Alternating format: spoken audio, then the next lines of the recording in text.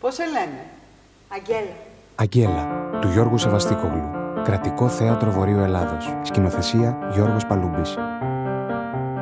Αγγέλα, από 22 Ιανουαρίου στη Μονή Λαζαριστών. Πληροφορίες 2315 200 200. Αν αγαπήσω άλλο να πεθάνω. Εσύ; Εγώ θέλω να ζήσω. κι εγώ μαζί σου.